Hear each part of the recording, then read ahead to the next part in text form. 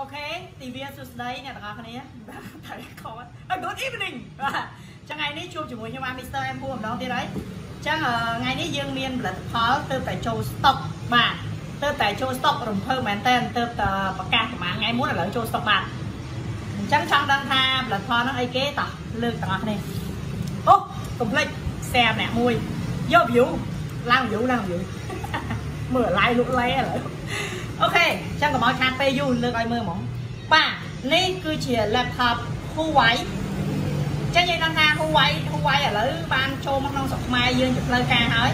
ហើយនេះគឺជា laptop ដែលពីខាងក្រុមហ៊ុនមកហើយមានការធានាត្រឹមត្រូវមានន័យថាធានា2ឆ្នាំនៅពេលដែលយើងប្រើប្រាស់ទៅមានបញ្ហាខូចអីគឺមិនបាច់ភ័យយើងគ្រឿងបន្លាស់គ្រឿងអីគេដូរថ្មីឲ្យយើងហើយនៅពេលដែលយើងមានបញ្ហាខូចគ្រឿងបន្លាស់នៅពេលដែលយើងដូចថាដេកកិនបែកចាក់បែកអីគឺខាង Huawei គេអាច order មកដូរយើងបាន អញ្ចឹងគឺនៅពេលដែលយើងទិញចំរបស់ក្រុមហ៊ុនគឺវាមានអត្ថប្រយោជន៍អញ្ចឹងអញ្ចឹងអូខេថាតើបងនេះ Huawei បងឯងកាន់ Huawei អីគេអញ្ចឹងខ្ញុំចង់លាក់គ្នាយើងសិនហើយតិចទៀតខ្ញុំប្រាប់ចាឥឡូវយើងមកមើល spec បាទអូយបាត់សិនអញ្ចឹងអានេះមិនបាច់ទេទៅប្រាប់ហ្មងនេះគឺជា Huawei MateBook 13 Cassin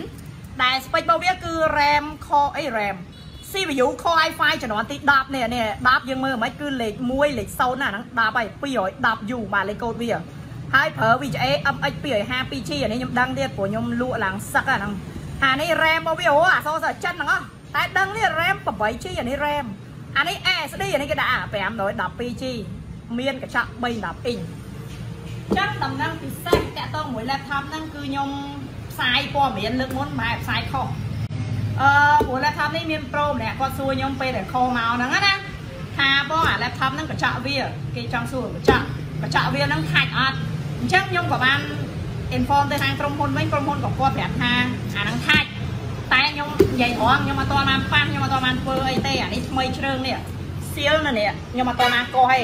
ចឹងខ្ញុំមកកោឲ្យគ្នាយើងមើលតែខ្ញុំអត់បើកទេព្រោះថា laptop ថ្មីតបើកទៅអស់សេនហើយចឹងគ្នាយើងពិបាកទិញលើហើយចឹងខ្ញុំអត់បើកទេចឹងចាំមកទិញ តែទាំងអស់គ្នាហ្មងខាច់អត់តអត់ខាច់យើងចាំរៀបកម្រងការបញ្ឆេះសាំងក្រុមហ៊ុននិយាយលេអូខេចឹងកុំឲ្យខាតពេលយូរថាអា MacBook នេះ MacBook ហ្នឹងវាមានពីរពណ៌ទៀតតែមកស្រុកខ្មែរយើងជើងទី1ហ្នឹងអត់ដឹងពណ៌អីណាចឹងចាំយើងតាមអ្នកនរគ្នាឆាវឆាវអ្នកនរគ្នាហើយយើងអូ unbox មកអាហ្នឹងមានភាពរំភើបមិន admin ក៏រំភើបដែរអានេះគឺខ្ញុំអត់តបាន unbox ទេចឹងយើង unbox អ្នកគ្នា OK OK ចឹងនេះ គឺជាការ unbox ទៅលើ laptop ដំបូងទើបតែចូលមកក្នុងស្រុកខ្មែរ Huawei MateBook wow អូស្អាតស្អាតស្អាតស្អាតព្រោះចូលមកតាក់ទាញហ្មងនេះតាក់ទាញតាក់ទាញចំណៃភ្នែកហ្មងចឹងអានេះគឺជាសភៅអីគេអូអានេះមានលេខកូដណាកុំភ្លេចបិទណាគ្នាយើងអានេះគឺជាសភៅអីគេជាវភៅអីគេអូយចិត្តតែឆោចិនអត់ចេះមើលទេអត់ចេះមើលទេ សូមបញ្ជាក់ប្រាប់ថា Huawei គឺមកពីចិនអូអត់ចេះមើលទេអញ្ចឹងទុកសិនបាទនេះគឺជាសភៅរបស់វាទេបាទនៅក្នុងនេះគឺយើងមានឆ្នាំងសាអូលយលយលយលយលយលយលយលយលយលយ free free free free បាទនេះគឺជាអឺ Type C ចេញទៅ USB ចឹងអានេះគឺនៅពេលដែលយើងទិញ Huawei គឺ free ជូននៅក្នុងប្រអប់តែម្ដង ព្រោះថា laptop Huawei MateBook 13ហ្នឹងគឺវាដូច MateBook សេរីថ្មីអញ្ចឹងមានន័យថាវាអត់មាន port USB ទេដែលជាហេតុចុះយើងខ្ញុំចង់ប្រើ flash ចង់ប្រើ mouse ចង់ប្រើដោតស្អីស្អីអាហ្នឹងធ្វើមិនទៅចឹងអានេះគឺគេ free ឲ្យយើងជាពិសេសអូឡយអានេះ Type C យក USB អាហ្នឹងបើសិនជាទិញក៏អត់ថោកដែរណាថ្លៃហ្នឹងអានេះគឺខ្សែសាកថ្មវាអានេះដុំសាកអានេះប្រើ Type C ចឹងមានន័យថា laptop មួយនេះគឺ fast charge ចឹងឆាយត្រឹមតែ1ម៉ោង1ម៉ោងកន្លះពេញហើយ ចឹងតោះឥឡូវយើងចូលមកឈុតសំខាន់ឈុតសំខាន់គឺ laptop ហ្នឹងហើយម៉ែឡើងស្ដើងអូខ្ញុំមានខ្ញុំខ្ញុំឃើញតែខ្ញុំស្រឡាញ់ដែរស្រឡាញ់អីគេអានេះមកគឺពណ៌ដែលខ្ញុំស្រឡាញ់ពណ៌ដែលខ្ញុំស្រឡាញ់បាទនេះពណ៌ដែលខ្ញុំស្រឡាញ់ពណ៌ឡូយទៀតពណ៌ដែលគ្នាយើងចង់បាននេះគឺជាពណ៌ space gray ដែលខ្ញុំ highlight ឯមុនខាងក្រុមហ៊ុនគាត់យកឲ្យហ្នឹងគឺពណ៌ silver អញ្ចឹង silver អត់តន់មកទេវាមក space gray មុនបាទមើលមើលមើលរៀងមើលរៀងអូអានេះមិនដឹងអាថ្មីចុចមកចេញណាលោកចេញដែរបានខាច់បាទកញ្ចក់វាគឺនៅស្អាតខ្លាំងចឹងហ្មងអត់មានកែមទេចឹងអានេះខាងក្រុមហ៊ុនគាត់ប្រាប់ខ្ញុំទេណាថាហ្នឹងមានថាច់ ចឹងខ្ញុំអត់ដឹងថាច់ថៃខ្ញុំអត់ហ៊ានបើករបស់គេព្រោះតែបើកហើយលួចបានអានេះគឺរបស់ថ្មីខ្ញុំហាយប្រកាសខ្ញុំមកបង្ហាញគ្នាយើងឲ្យឃើញចឹងបងប្អូនដែលគាត់មកទិញមកជាវអីគឺយកអាហ្នឹងទៅណាខ្ញុំគ្រាន់តែអាត់បត់ទេនេះយើងមើលជាក់ស្ដែងវីដេអូអត់មានស៊ីគ្រឿងអត់មានអីទេហើយក៏អត់មានធ្វើតែធ្វើអីដែរគឺថ្មីបាទគឺស្អាតចង់និយាយប្រាប់ថាស្អាតហើយបត់នេះបត់បានបត់បានប្រហែលនេះចូលប្រហែល150ដឺការ៉េសក់30ដឺការ៉េទៀត180ដែរបាទ គឺស្អាតមែនតើអានេះថ្មីនៅពេលដែលកាន់ជាតិថ្មីទៅគឺបាទឥឡូវតោះយើងចូលមកកម្មវិធីនៃការសួរតម្លៃស្ពេចមកយើងដឹងហើយចឹងតម្លៃរបស់វាគឺនៅដដែល899ដុល្លារអញ្ចឹងនៅពេលដែលទិញមកនៅក្នុងប្រអប់គឺយើងបានអាអា USB Type C ចេញ USB នេះមួយអាវ៉ាន់ថាតើនៅពេលដែលមកទិញនៅ Vstore បានអីគេទៀតបាទអញ្ចឹងតោះយើងមក promotion ចឹងសម្រាប់ Huawei MateBook 13នេះគឺពិសេស ខ្ញុំអាចនិយាយថាពិសេសរាល់ដងគឺយើងទិញគឺយើងបានតែកតាទេតើតែលើកនេះខាងក្រុមហ៊ុន Huawei ឲ្យជើងដំបូងហ្នឹងឲ្យតែជើងដំបូងហ្នឹងទេជើងទី2ជើងទី3គឺអត់មានទេចឹងអ្នកទាំងអស់គ្នាដែលគាត់មកទិញជើងដំបូងហ្នឹងនឹងទទួលបានម៉ៅ Huawei នេះបាទអានេះម៉ៅនេះថ្លៃម៉ៅនេះវាមួយចូលម៉ៅ Bluetooth អានេះម៉ៅ Bluetooth បាទព្រោះដោយសារអាហ្នឹងយើង USB អត់មានអញ្ចឹងគេឲ្យម៉ៅ Bluetooth យកហ្មងអានេះគឺម៉ៅ Huawei ប៉ណ្ណិត តម្លៃរបស់វាដូចជាខ្ញុំសួរក្រុមហ៊ុន35រៀលបាទគឺគេ free ជូនយើងតែម្ដងតែសម្រាប់តែជើងទី1ទេអញ្ចឹងសូថាបងខាងអេខាងខាងខាងមួយមានមាន free ឲ្យទៀតអត់បាទមានអញ្ចឹងលើកនេះខ្ញុំអត់ឲ្យដូចមុនទេមានន័យថានេះគឺខ្ញុំឲ្យ power bank សួរបងឲ្យ power bank អីប្រើមួយទូរស័ព្ទហ្នឹងណាបង Mavo អញ្ចឹងខ្ញុំឲ្យ power bank មួយទុកជាការប្រើប្រាស់ព្រោះមិនដឹងឲ្យអីទៀតទេម៉ៅគេឲ្យអីហ្នឹងបាទនេះទឹកលាង screen មក pad Huawei អ្វីដែលលើសគេនោះគឺនេះនេះគឺជាស្រោមកម្មញ្ញៃអញ្ចឹង laptop វាវាវាតូចវាស្ដើងអញ្ចឹងយើងត្រូវការស្រោមកម្មញ្ញៃដើម្បីយកទៅកាន់បាទយកទៅខាងក្រៅមិនបាច់ស្ពីកតាមមិនបាច់ស្ពីអីបាទអញ្ចឹងខ្ញុំ free ជូន4មុខឲ្យបន្ថែមដែលអ្នកដែលគាត់មកទិញគឺនៅជើងដំបងហ្នឹងទេតែអស់ជើងហ្នឹងគឺលេងបានអវ៉ាន់ហើយអញ្ចឹងថ្ងៃនេះខ្ញុំសង្ឃឹមថាគ្នាយើងយ៉ាស្រឡាញ់អត់899ដុល្លារហើយ កញ្ចក់ផ្លេចប្រាប់កញ្ចក់ 2K 2K ហើយថាច់ទៀត899ដុល្លារស្ពេចនិយាយដល់ទៀត Wi-Fi RAM 8G HD SSD 512មាន VGA ដាច់ដល់250អ្នកដែលគួរគួរប្រើប្រាស់នេះគឺអ្នកដែលគាត់ជាលក្ខណៈគេហៅថា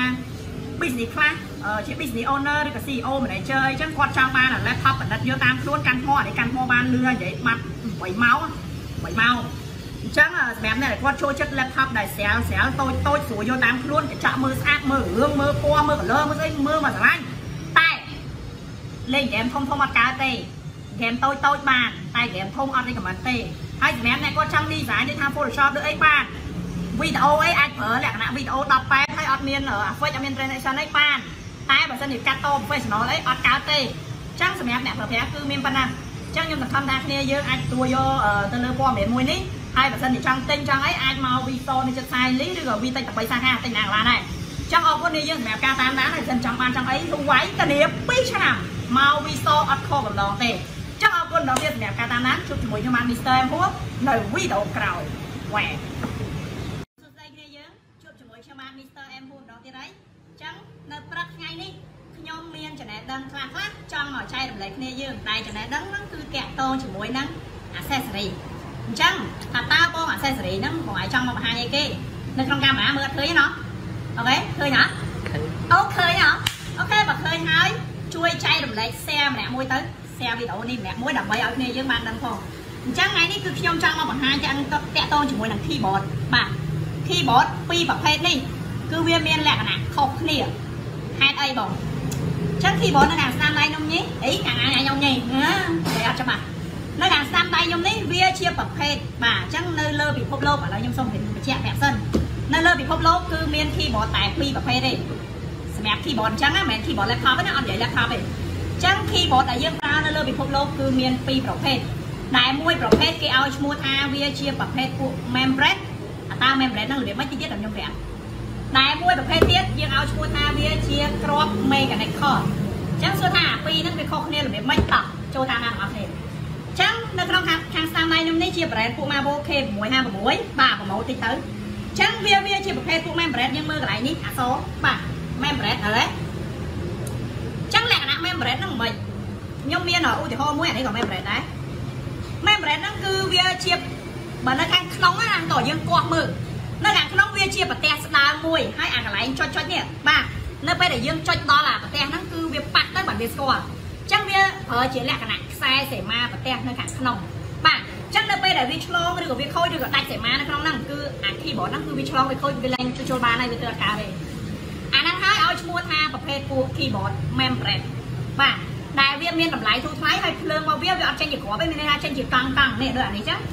ឃើញរូបភាពវាចេញជាកង់កង់វាអត់មានគ្រាប់គ្រាប់មកគ្រាប់គ្រាប់គ្រាប់គ្រាប់ទេ